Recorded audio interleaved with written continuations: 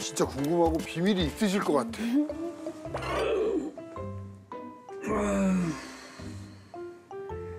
하나, 둘, 셋.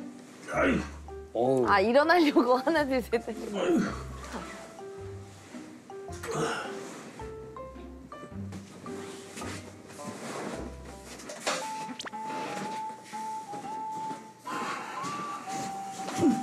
새 아침이 밝았어.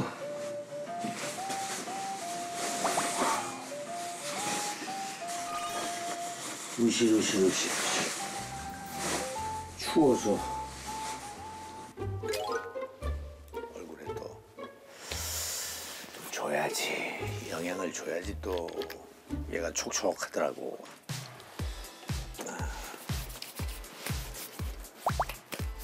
어이, 얼굴 진짜. 다 찍어가지고 네. 네. 뭐야 저게 나이 먹어.